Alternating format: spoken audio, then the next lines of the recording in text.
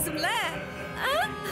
நம்ம அன்பேவா காதல் சித்திரத்தை மறுபடியும் ஒரு தடவை ரிலீஸ் பண்ணுவோங்கிறேன்.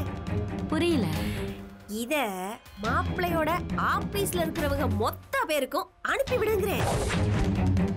சித்தி முதல்ல நம்ம மாப்பிள்ளையோட கெத்த காலி பண்ணிடுவோம். ஏ ரம்யா இங்க வா. இந்த வீடியோ பாரு. ஆர்ஜே செந்தில் தானே? இங்க கூட. செந்தில் அப்போ எனக்கு முத்தம் கொடு. கொடுத்துட்டா போச்சு.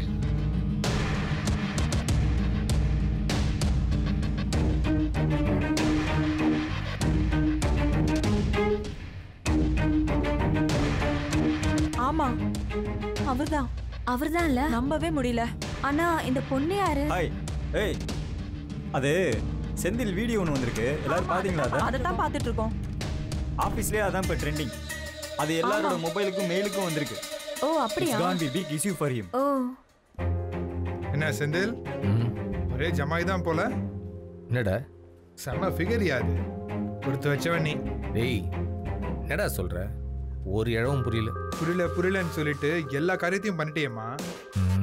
நடத்து நடத்து. இங்க பார். தெளிவா சொல்றதுன்னா சொல்லு இல்லைன்னா கிளம்பு. எனக்கு கொஞ்சம் வேலை இருக்கு மச்ச கரையா நீ என்ஜாய் ம்.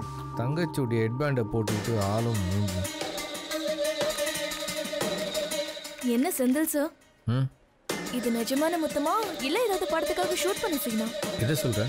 எனக்கு என்னமோ இது ஷூட்டிங் சீன் மாதிரியே தெரியல. நிஜமா கொடுத்த மாதிரி தான் தெரியுது. என்ன தாரா? என்னென்னவோ பேசுறீங்க எல்லாரும்.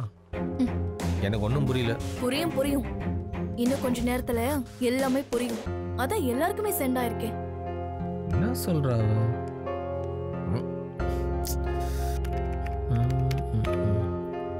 சட்டி சார். வச்சுட்டு போ.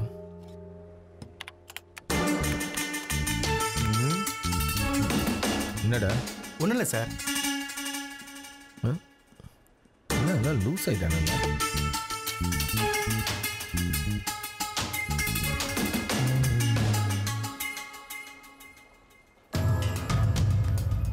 என்னடா இப்படி ஆயிடுச்சு? நான் கூட வேற ஏதோ வீடியோன்னு ஆர்வமா பார்த்தேன். பார்த்த செந்திலோட டேய் வாய மூடுறா. எந்த நேரத்தில் காமெடி பண்ணணும்னு ஒரு விவஸ்தை இல்லை. அன்பு ஆ? இந்த விஷயம் செதிலுக்கு தெரியுமா? தெரியாதுன்னு தான் நினைக்கிறேன் பிரியா. தெரிஞ்சிருந்தா இந்நேரம் நம்மகிட்ட ஓடி வந்திருப்பானே. அதுவும் கரெக்ட் தான். இந்த வீடியோவை யார் அனுப்பியிருப்பா? தெரியலையே. ஏன் பிரியா? இந்த வீடியோவால செந்தில் வேலைக்கு எதுவும் ஆபத்து வந்துடாத. அவனோட இமேஜை கெடுக்கணும்னு தான் யாரோ இதை வேணும்னே பண்ணியிருக்காங்க. பிரச்சனையாகிறதுக்கும் வாய்ப்பு இருக்கு. சொல்ல முடியாது. ஐயோயோ. யோ ஃபோன் பண்ண எடுக்க மாட்டியா நீ? சாரிப்பா செல்லு சைலண்ட்ல இருந்தது. சரி வா ஒரு தம் போட்டு வரலாம்.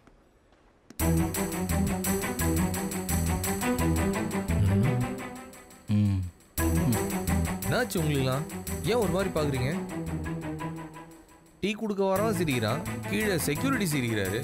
என்ன உங்களுக்கு என்ன பார்த்தா ஜோக்கர் மாதிரி தெரியுதா? உனக்கு விஷயமே தெரியாதா செந்தில்? என்ன விஷயம்? யோ ஆஃபீஸில் எல்லார் மெயிலுக்கும் மொபைல் நம்பருக்கும் செந்தில் லீக்ஸ்னு ஒரு வீடியோ வந்திருக்கியா? செந்தில் லீக்ஸா? அப்படின்னா? என்ன வீடியோ வந்திருக்கு? டேய் உன்னதான்டா. என்ன வீடியோ? சொல்லு மாமா. ஆ உன் கல்யாணத்துக்கு முன்னாடி நாள் மேகிக்கு கொடுத்திய ஒரு மருத்துவ முத்தம் அந்த வீடியோ.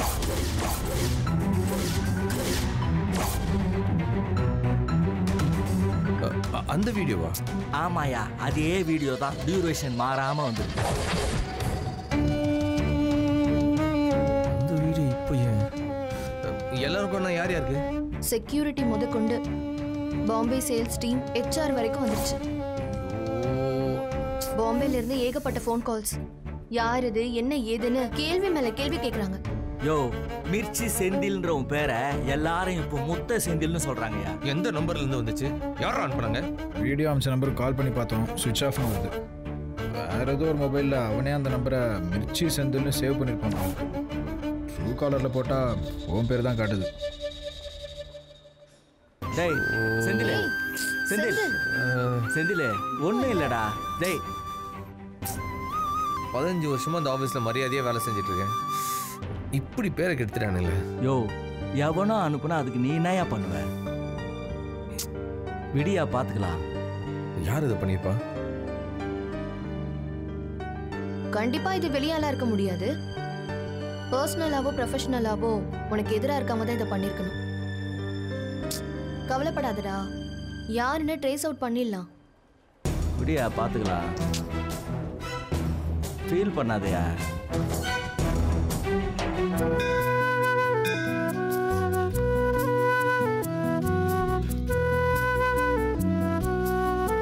சிவா. நீ கூப்பிட்றப்பெல்லாம் நான் உன்னை தேடி வரனே. ஏன்னு கேட்கல நான் எங்க கேட்கணும் வரலன்னா தானே ஏன்னு கேட்கணும் பிடிச்சிருக்கு. பிடிச்சிருக்குன்னு தான் சொன்னேன். காதலிக்கிறேன்னு சொல்லல. என்னங்க பிரச்சனை உங்களுக்கு? அதான் எப்பவுமே சொல்றேனே. வயசு தான் பிரச்சனை. இப்ப என்ன? வயசு தானே உங்க பிரச்சனை? ம் ஆமா. ஒரே நிமிஷம் வரேன். ஏய் எங்க போற? அட இருங்க ஒரு நிமிஷம். வந்து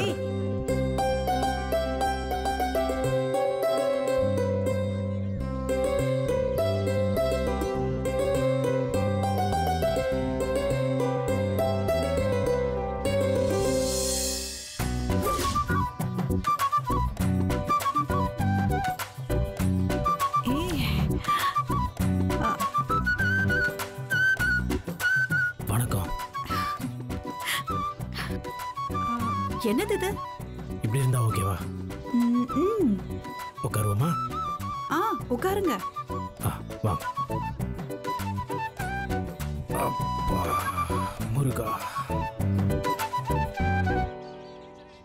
என் பேரு ஜீவானந்தம். நான் ரம்யா. இருக்கட்டும். ஓ பேங்க்ல அசிஸ்டன்ட் மேனேஜரா இருக்கேன். நான் லெக்சரர். சொன்னாங்க. ஆமா. ஏன் இவ்வளவு நாளா கல்யாணம் பண்ணிக்கல? நாலு தங்கச்சிங்க. அவங்களுக்கெல்லாம் கல்யாணம் பண்ணி வச்சுட்டு திரும்பி பார்க்கறதுக்குள்ள வாழ்க்கை ஓடிடுச்சு அச்சோ நீங்க? ஆ. எனக்கு சரியா எதுவும் அமையல.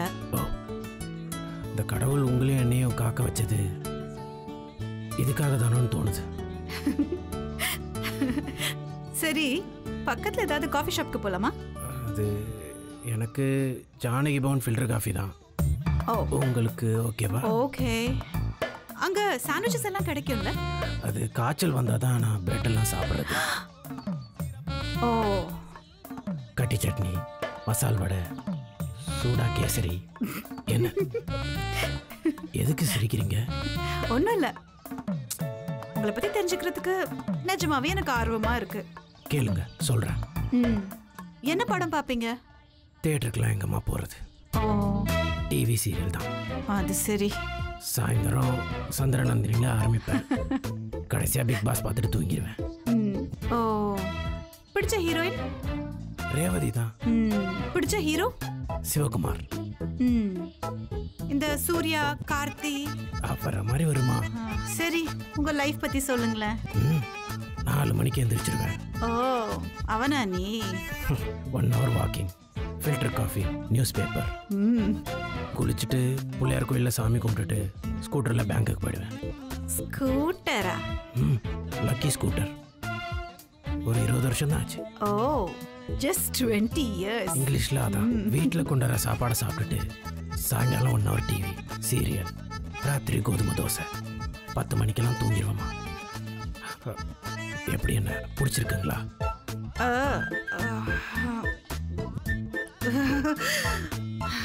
பாப்பா ரொம்ப யோசிக்குது.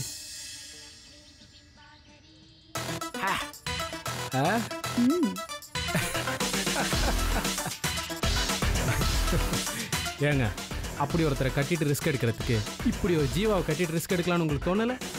சொல்லுங்க. ரம்யா. பேரை சொல்லி கூப்பிடலாம்ல? ம், இருக்கிறது ஒரு வாழ்க்கை தான். அந்த வாழ்க்கையை அம்மாக்காக அப்பாக்காக ஊருக்காக அவங்களுக்கெல்லாம் வாழாதீங்க. உங்களுக்காக மட்டும் வாழுங்க. இல்லைன்னா அப்புறம் வாழ்கிறதுக்கே அர்த்தம் இல்லாமல் போயிடுங்க. இதை பாருங்க. நீங்கள் இழந்து போன சந்தோஷத்தில் நான் திருப்பி தரணும்னு பார்க்குறேன் உங்களை ஒரு பத்து வருஷம் பின்னாடி கூட்டிகிட்டு போய் அவசர அவசரமாக நீங்கள் வாழ்ந்த வாழ்க்கையை நிறுத்தி நிதானமாக சந்தோஷமாக உங்களை வாழ வைக்கணும்னு நான் நினைக்கிறேங்க. அவ்வளோதான் Jeeva. I love you Ramya. I want to marry you நம்பி கையை கொடுங்க. எல்லாம் சரியா வரும். ம். ஓகே எவ்வளோ வேணால் டைம் எடுத்துக்கோங்க. பட் அது வரைக்கும் வாங்க பழகலாம். நான் ஃப்ரீ தான்.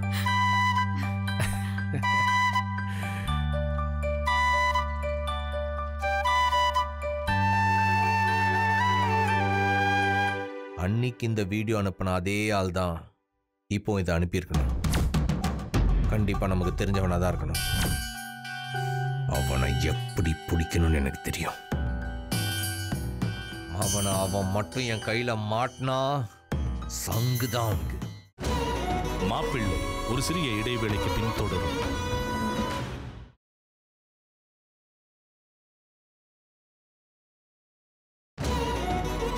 மாப்பிள்ளை தொடர்கிறது.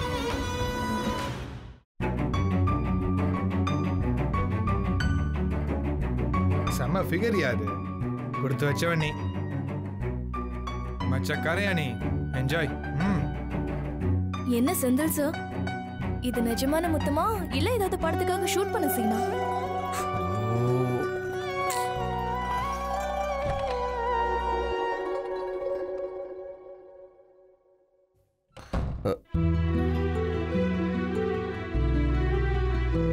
பாம்பே ஹெச்ஆர் கிட்ட எல்லாமே எடுத்து சொல்லியிருக்கேன். அவங்களும் உன்னை புரிஞ்சுக்கிட்டாங்க. இத்தனை வருஷமா உன் மேல எந்த பிளாக் மார்க்கும் வந்ததில்ல. அவங்களுக்கும் புரியுது. அதுவும் இல்லாம இது ஆஃபீஸ்க்கு வெளியே நடந்த விஷயம். இதனால எந்த பிரச்சனையும் ஆகாதுன்னு தான் நினைக்கிறேன். நீ ரிலாக்ஸா இரு. என் வேலைக்கு பிரச்சனை வந்துடும் சொல்லி தான் நான் டென்ஷனாக இருக்கேன்னு நினைக்கிறியா? எப்படி ஜெயா? எப்படி என்ன ரிலாக்ஸாக இருக்க சொல்ற? வேலை பற்றில எனக்கு எந்த கவலையும் கிடையாது. போனது என்னோட மானம். இந்த ஆஃபீஸ் ஓப்பன் பண்ண காலத்துலேருந்து இங்கே நான் ஒர்க் பண்ணிட்டு இருக்கேன். இந்த ஆஃபீஸ்க்குள்ளே வரும்போது எவ்வளோ கம்பீரமா எவ்வளோ கர்வமாக உள்ள வருவான் தெரியுமா? ஆனால் இன்னைக்கு என்னை பார்த்து சல்யூட் அடிக்கிறவன என்னை பார்த்து சிரிச்சிட்டு போறான். ஒவ்வொருத்தரும் என்னை கேவலமாக பார்க்குறானுங்க. அவனுக்கு பார்க்கறதெல்லாம் எவ்வளோ அசிங்கமாகவும் அவமானமாக இருக்கு தெரியுமா எனக்கு? புரியுதுடா. ஆனால் ஏதோ அனானிமஸ் நம்பர்லேருந்து அந்த வீடியோ வந்திருக்கு. அதை யார் அனுப்புனாங்கன்னு நம்ம எப்படி கண்டுபிடிக்க முடியும்? ஏன் முடியாது? நான் கண்டுபிடிப்பேன். இந்த கேவலமான வேலையை எவன் செஞ்சிருப்பான்னு தான் யோசிச்சுட்டு இருக்கிறேன். கண்டுபிடிச்சு அவன் கைய காலை நான் உடைக்கல. என் பேர் செந்தில்ல என்ன பேசுறேன்னு யோசிச்சு தான் பேசுறியா? நிஜமா தான் சொல்றேன் ஜெயா. இந்த வீடியோ அனுப்புனவனுக்கு என் கையால தான் சாவு. செந்தில். இதை நான் ஏதோ கோவத்துல எல்லாம் சொல்ல. கண்டிப்பா பண்ணுவேன். படிச்சவன் மாதிரி பேசு. கோர்ட்டு கேஸ்னு போகும்போது மட்டும் நம்ம மானம் போகாதா? அதை பத்தி எனக்கு கவலை இல்லை. ஆனா என்னை அவமானப்படுத்தினவன நான் பழி வாங்கினேன்னு ஒரு ஆறுதல் இருக்குல்ல அது போதும் எனக்கு. இங்க பாரு செந்தில் நம்ம சைபர் கிரைம்ல கம்ப்ளைண்ட் பண்ணலாம். லீகலா இதை யார் அனுப்பிச்சாங்கன்னு கண்டுபிடிச்சு அவன் மேல கேஸ் போடலாம். நீங்க ஆபீஸ் சார்பா என்ன பண்ணுமோ பண்ணுங்க. ஆனா இதை நான் என் வழியில எப்படி டீல் பண்ணுமோ அப்படி பண்ணுவேன். கொஞ்சம் பொறுமையா இருடா. முடியாது ஜெயா. முடியாது. எனக்குள்ள எப்படி ரத்தம் கொதிச்சிட்டு இருக்குன்னு எனக்கு தான் தெரியும். இதே வீடியோ தான் கல்யாணத்தப்பவும் வந்துச்சு. அன்னைக்கு இதை நீ சாதாரணமா தானே எடுத்துக்கிட்ட? அன்னைக்கு நான் யோசிச்சது மொத்தமும் உன்னை பத்தி மட்டும்தான். இந்த வீடியோவை நீ எப்படி ஏத்துப்ப உன் மனநிலை எப்படி இருக்குன்றத பத்தி மட்டும்தான் யோசிச்சேன். அதுவும் இல்லாம அன்னைக்கு இதை பத்தி நான் இன்வெஸ்டிகேட் பண்ண ஆரம்பிச்சிருந்தேன். நம்ம கல்யாணத்துல ஏதாச்சும் பிரச்சனை வந்திருக்கும். அதனால தான் அமைதியாவே இருந்தேன். ஆனா அதே வீடியோவை இத்தனை நாள் கழித்து என் ஆஃபீஸ்க்கே அனுப்பியிருக்கான்னா அதை பார்த்துக்கிட்டு நான் எப்படி சும்மா இருக்க முடியும் ஜெயா? இது நான் தினம் தினம் வந்து போகிற ஆஃபீஸ். வருஷ கணக்கில் நான் இங்கே வேலை பார்க்கணும். நாலு பேரோட பழகணும். எனக்குன்னு இங்கே ஒரு இமேஜ் இருக்கு. அந்த பேர்லாம் நான் எவ்வளோ கஷ்டப்பட்டு சம்பாரிச்சேன் தெரியுமா? ஆனால் எனக்கு ஒரு நிமிஷத்தில் போச்சு. எல்லாம் போச்சு. இந்த வீடியோ பார்த்த எல்லாருக்கிட்டே நான் போய் ஐயா நான் இதை ஏன் பண்ண தெரியுங்களா? நான் ரொம்ப நல்லவங்க அப்படின்னு சொல்ல முடியுமா? ஒருத்தர்கிட்டே போய் கெஞ்ச முடியுமா? இழந்த பேரை நான் எப்படி சம்பாதிப்பேன் ஜெயா?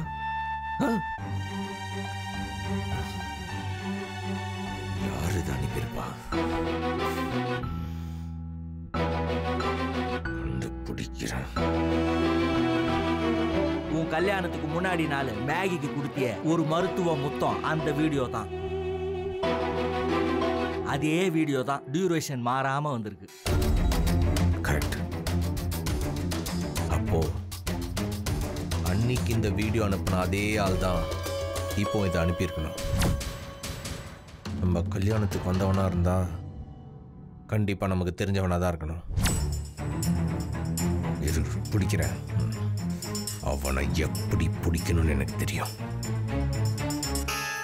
அவனை அவன் மட்டும் என் கையில மாட்டினா சங்கு தான் அவனுக்கு செந்தில் செந்தில்.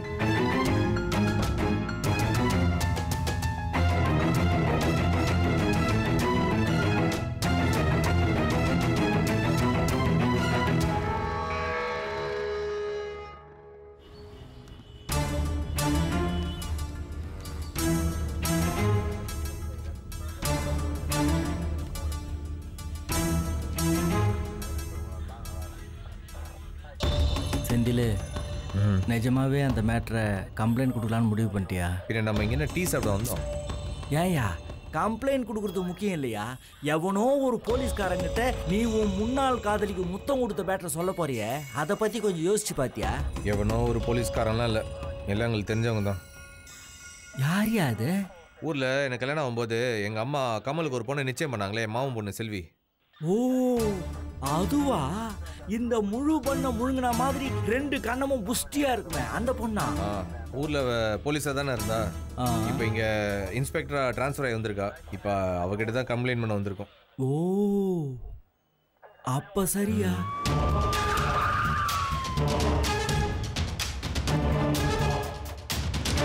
ஏயா உன் கூட நான் மட்டுமா இருக்கேன்? கிறிஷ் பிரியா மனோகுரு சாமு விஜய் இவங்கெல்லாம் இல்ல? ஏயா இன்னும் ஏன்? ஜெயா மேடம் கூட தான் இருக்காங்க. அதுக்காக அவங்களையே சந்தேகப்பட்டுருவியா ஏன் சந்தேகப்படக்கூடாது? மாப்பிள்ளை ஒரு சிறிய இடைவேளைக்கு பின் தொடரும்.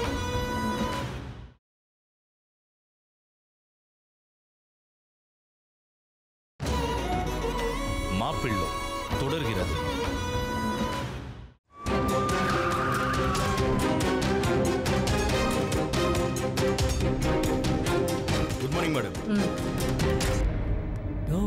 கமலோட ஆள் வந்துச்சியா? மாமா? ஏய் செல்வி. வாங்க மாமா. வந்து ரொம்ப நேரம் ஆச்சா?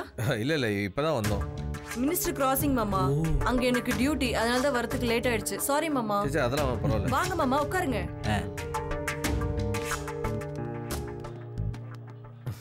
சென்னையெல்லாம் செட் ஆச்சா? ஏதோ செட் ஆயிருக்கு மாமா.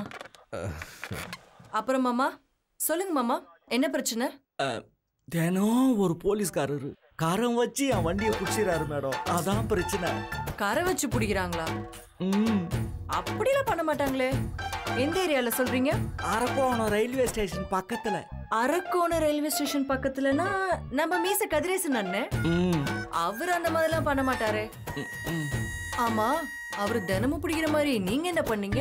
வீட்டுக்கு போற வழியில தினம் சுடுகாட்டை கிராஸ் பண்ணி போறமேன்னு ஒரு குவார்டர் அடிச்சுட்டு வண்டி எடுத்துன்னு போவேன். அவர் வண்டியை சீஸ் பண்ணிடுறாரு மேடம். மேடம் எவ்வளவுதான் நான் கவர்மெண்ட்டுக்கு ஃபைன் கட்டுவேன் நீங்களே சொல்லுங்க. அன்பண்ணே ஆ. நீங்க பண்ற காரியத்துக்கு உங்களையே சீஸ் பண்ணிருக்கணும். வண்டி மட்டும் பிடிக்கிறாங்கன்னு சந்தோஷப்படுங்க. யோ ம். உன் மேட்ரு ரொம்ப முக்கியமா? ஆஹா. வந்த விஷயத்த சொல்லியா? ஒன்றும் இல்லை கோச்சிக்காதேன்னா என்ன விஷயம் மாமா? அது வந்துமா? ஆபீஸ்ல சின்னதா ஒரு பிரச்சனை. அதனால செந்திலுக்கு கொஞ்சம் அவமரியாதை ஏற்பட்டு போச்சு. அப்படி என்ன நடந்துச்சு? அது வந்து சொல்லியா? ஆ.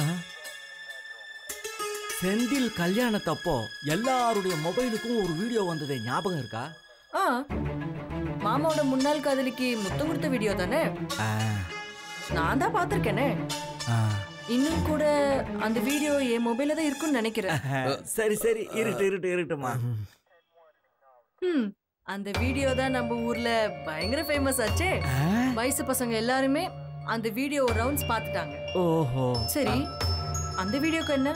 அம்மா அந்த வீடியோவை யாரோ இப்போ ஆபீஸ்ல இருக்கிற எல்லாருடைய மொபைலுக்கும் ஆபீஸ் மெயிலுக்கும் அனுப்பியிருக்காங்க. எல்லாருக்குமா? ஆமாமா அத செக்யூரிட்டில இருந்து எம்டி வரைக்கும் எல்லாருடைய மொபைலுக்கும் அனுப்பி விட்டாங்க. அதான் இப்ப ரேடியோ மிர்ச்சியோட ஹாட் டாபிக்கே. அதனால செந்திலுக்கு ஏகப்பட்ட மன உளைச்சல் சங்கடம் ஆபீஸ்ல ஏகப்பட்ட பிரச்சனை. புரியுது. இப்போ நான் என்ன பண்ணும்? யார் இந்த வீடியோவை ஃபார்வர்ட் பண்ணிருக்காங்கன்னு கண்டுபிடிச்சு சொல்லணும். அவ்வளவுதான். அது ரொம்ப சிம்பிளான விஷயம் தானே மாமா. ஈஸியா முடிச்சிடலாம். கண்டிப்பா யாருன்னு கண்டுபிடிச்சிட முடியுமா செல்வி? சந்தேகமே வேண்டாம். கவலையே படாதீங்க. ம். ம், உங்க கல்யாணத்தன்னைக்கு அந்த வீடியோவை யார் அனுப்புனாங்கன்னு கண்டுபிடிக்கலாம்னு நினைச்சேன். ஆ. ஆனா கல்யாண பொண்ணு ஜெயாக்காவே அந்த விஷயத்தை பெருசாவே எடுத்துக்கல. ஜஸ்ட் லைக் தட்னு விட்டாங்க. ஓஹோ. சரி நாமே அதை பண்ணணும்னு சொல்லிட்டு தான் அப்படியே விட்டுட்டேன். சரி அந்த வீடியோ எல்லாத்துக்குமே வேற வேற நம்பர்ல இருந்து வந்திருக்கா? இல்ல ஒரே நம்பர்ல இருந்து வந்திருக்கா? இல்லம்மா. எல்லாருக்கும் ஒரே நம்பர்ல இருந்து தான் வந்தது. ஒரே நம்பர்ல இருந்து தான் வந்திருக்கா? ஆமா. அப்ப அவனை கண்டுபிடிக்கிறது ரொம்பவே ஈஸி ஆபீஸ்ல இருக்க எல்லாரோட மொபைல் நம்பருக்கும் இது அனுப்பியிருக்காங்கன்னா யாரும் இது வேணும்னே திட்டம் போட்டு பண்ணியிருக்காங்க. இதுல முக்கியமான ஒரு விஷயம் என்னன்னா ஆபீஸ்ல இருக்க எல்லாரோடைய ஃபோன் நம்பரும் அவன்கிட்ட இருந்திருக்கு. அப்போ அனுப்புனவன் யாரோ ஒரு எக்ஸ் இல்ல. கண்டிப்பா அவன் உங்க ஆபீஸ்ல இல்ல உங்க கூட இருக்க ஒருத்தனா தான் இருக்கணும். யோ நீ ஏன் என்ன பாக்குற உன் கூட நான் மட்டுமா இருக்கேன்? கிறிஸ் பிரியா மனோகுரு சாமு விஜய் இவங்கெல்லாம் இல்ல. ஏன்யா இன்னும் ஏன்? ஜெயா மேடம் கூட தான் இருக்காங்க. அதுக்காக அவங்களையே சந்தேகப்பட்டுருவியா? ஏன் சந்தேகப்படக்கூடாது?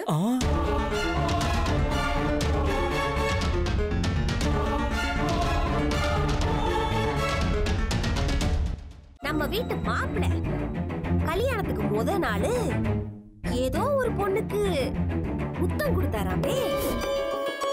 அந்த வீடியோவை யாரோ பாம்பே டெல்லின்னு உயர் அதிகாரிகள் இருக்காங்கல்ல அவங்க எல்லாரோட மயிலுக்கும் போயிருச்சான் ஐயோ அப்ப அத்தானுக்கு வேலை போயிடுமா? அப்படித்தான் பேசிக்கிறாங்க திவ்யா.